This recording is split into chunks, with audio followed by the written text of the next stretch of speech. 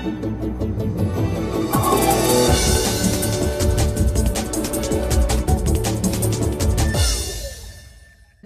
Sprigg is the Senior Fellow for Policy Studies at the Family Research Council in Washington, D.C. He came to FRC in 2001, and his research and his writing have addressed issues of marriage and family, human sexuality, the art and entertainment, and religion in public life. Uh, Peter is the author of the book Outrage How Gay Activists and Liberal Judges Are Trashing Democracy to Redefine Marriage. And he's the co editor of the FRC book Getting It Straight What the Research Shows About Homosexuality. And so, uh, Peter Sprigg's, one of the nation's leading experts on this issue, joins us this morning. Let's give him a warm welcome. Peter.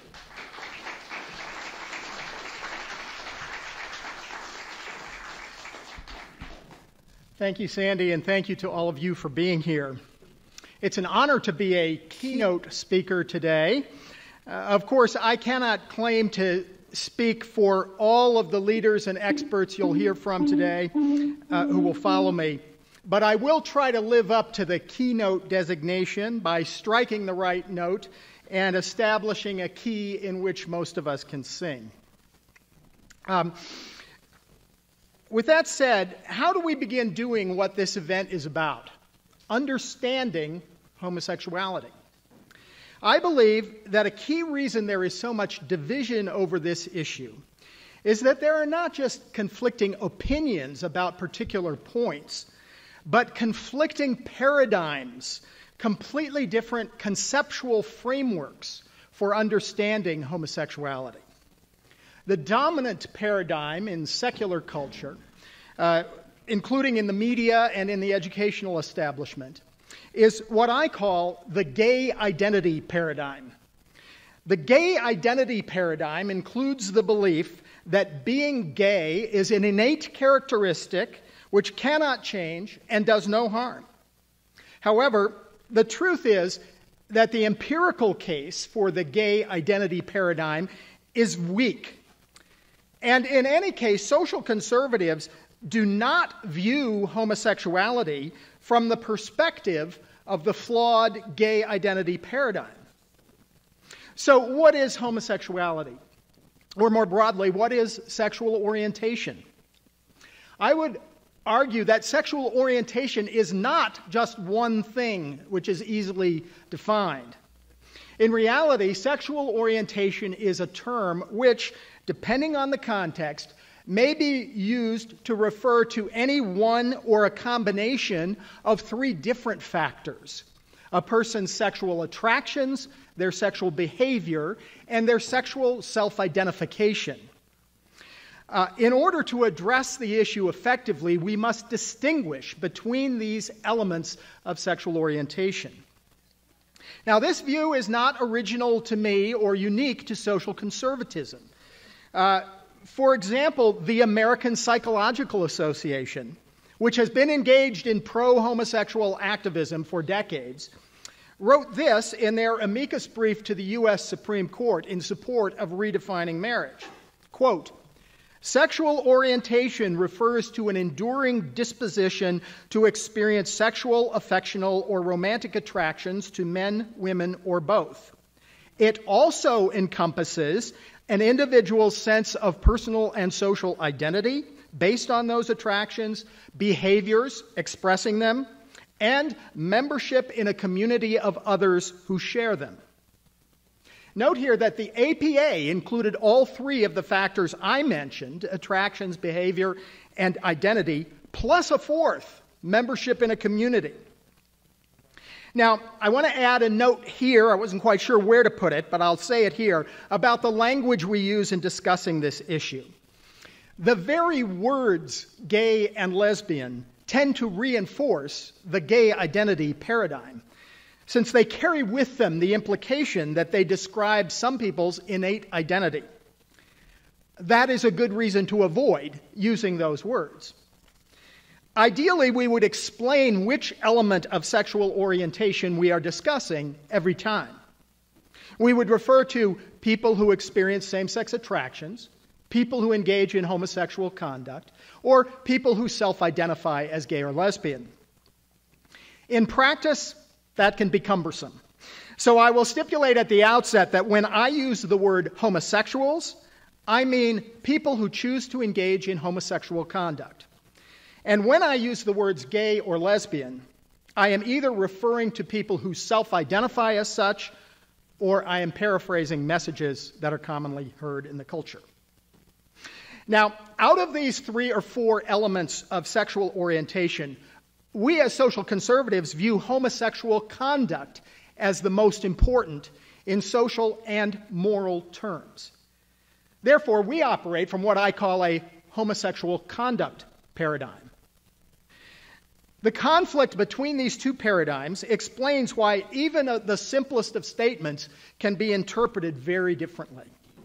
A social conservative, for example, might make a simple declarative statement such as, homosexuality is wrong, or I oppose homosexuality.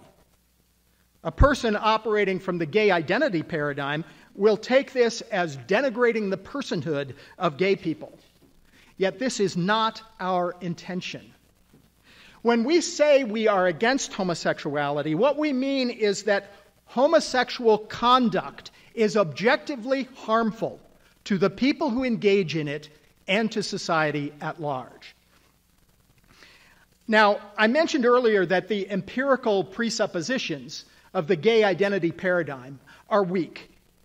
For example, this paradigm is based on a belief that same sex attractions develop because of a biological or genetic characteristic that is present at birth which cannot be changed.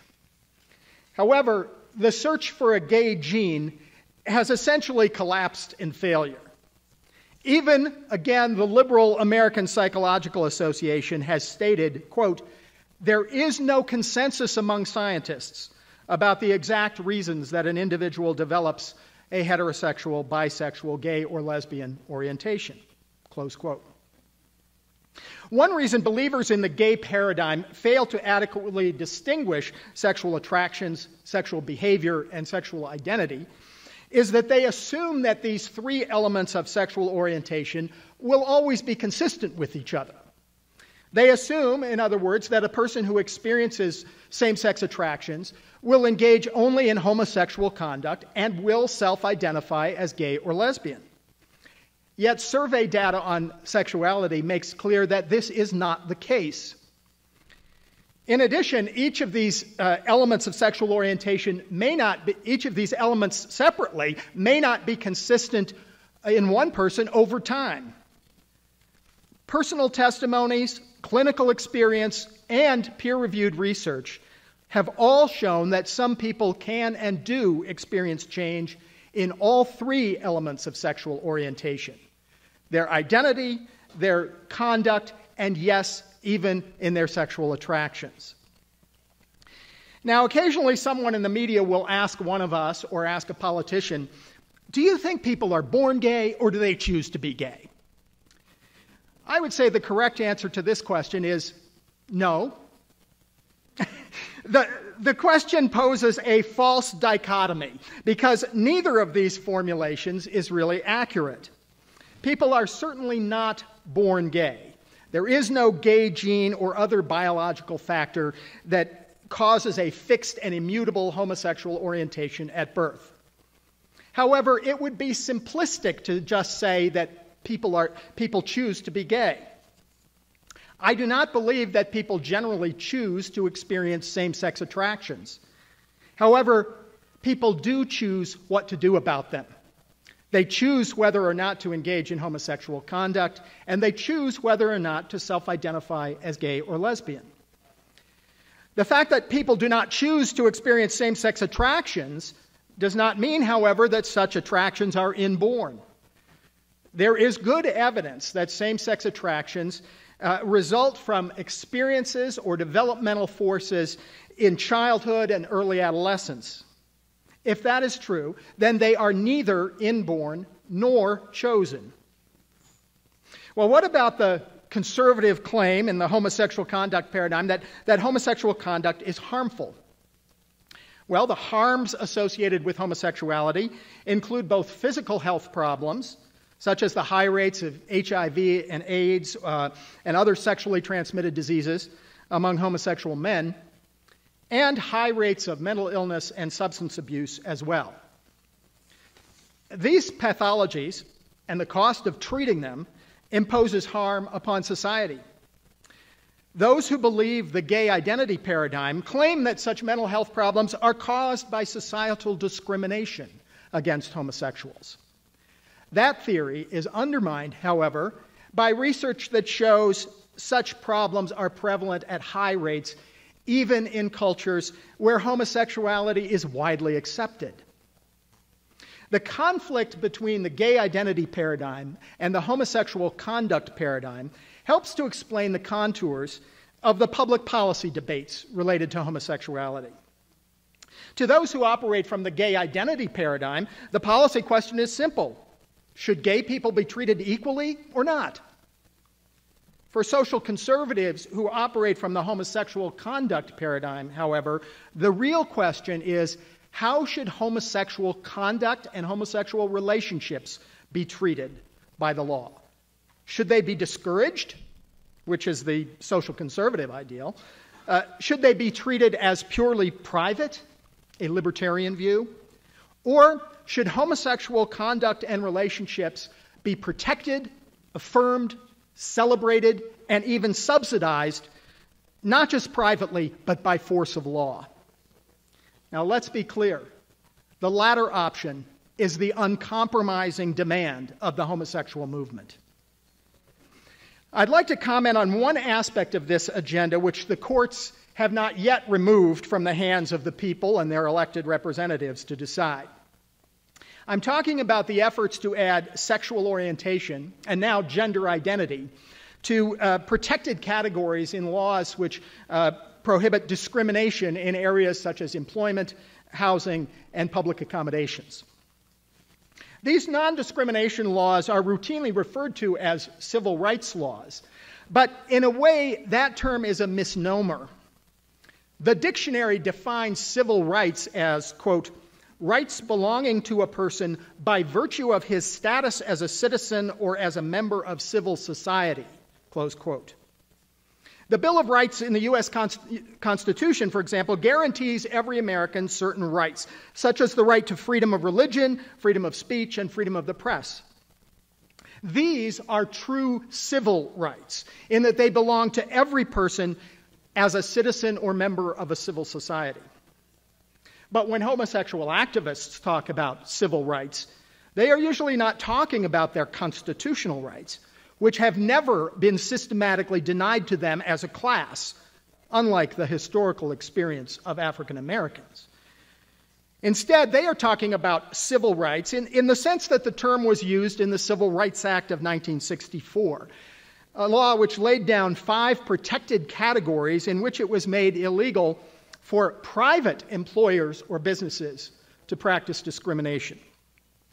Now, the true constitutional rights I mentioned place a restriction on the actions of governments. Laws that bar employment discrimination, for example, uh, place a restriction upon the action of private entities, such as corporations, in carrying out their private business. The extension of historic constitutional rights is a win win situation when a constitutional right is extended to a group previously deprived of it, no one else suffers any reduction of their rights as a result.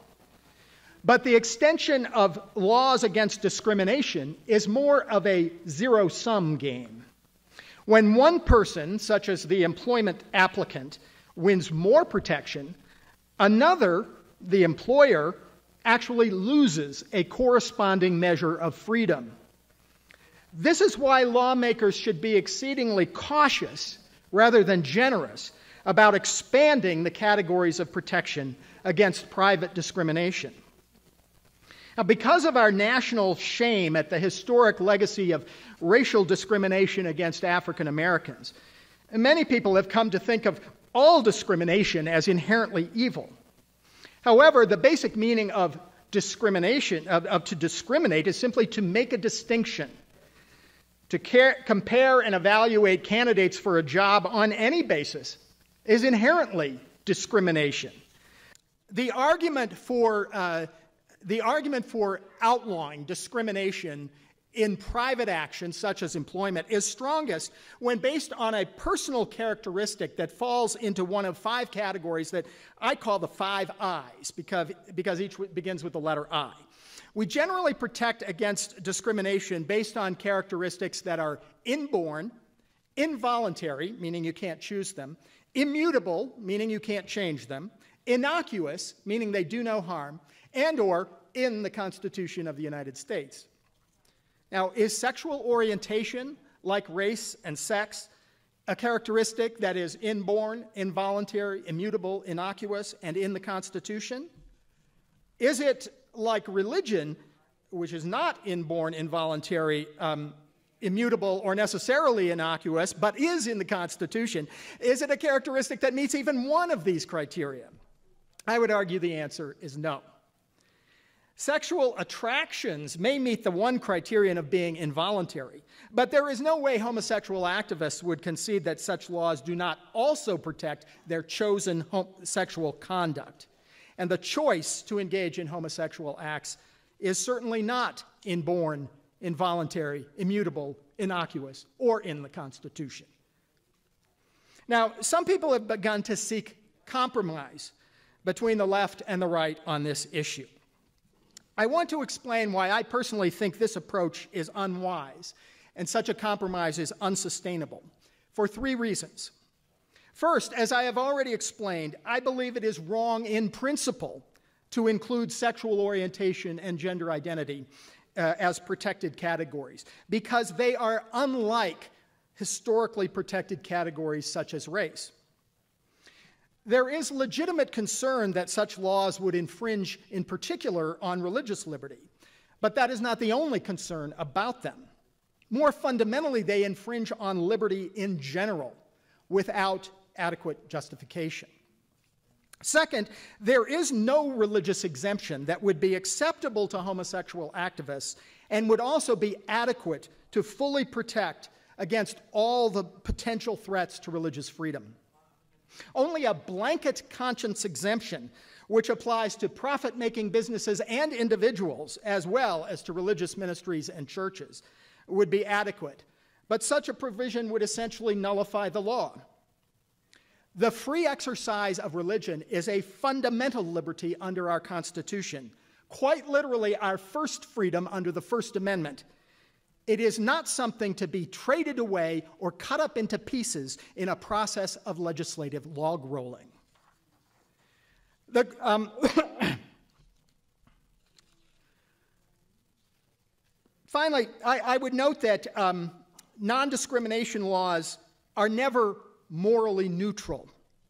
They send the message that it is morally wrong to disapprove of homosexual conduct. For such laws to be endorsed by citizens or legislators who believe that it is morally wrong to engage in homosexual conduct is a logical contradiction. There is one final question I would like to answer What motivates us to do what we do? Why do we, as pro family activists, insist on standing against the homosexual agenda? Our opponents would have you believe that the that the reason is a four letter word that begins with H. Nothing could be further from the truth.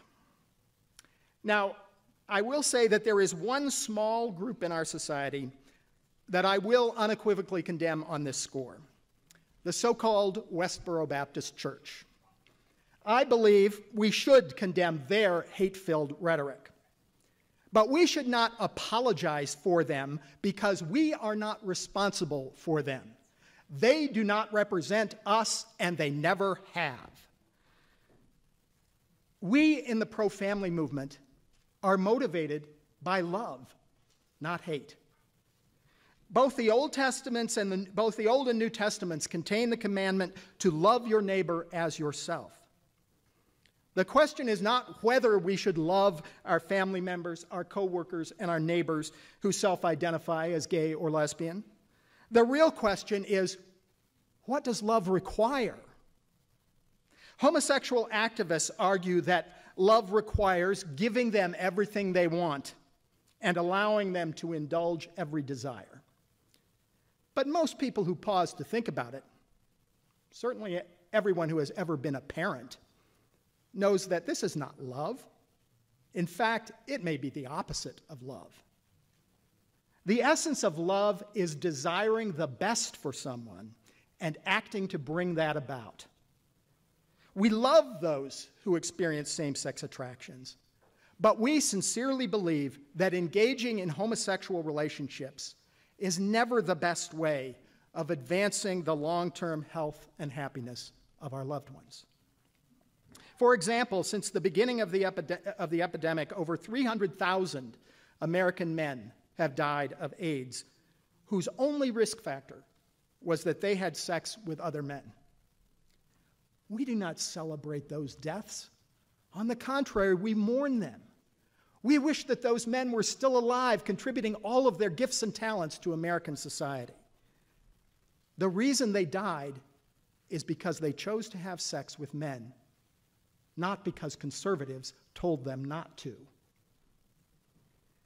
We do no one a kindness by denying the truth. The truth is powerful and will ultimately prevail. Thank you for standing for the truth.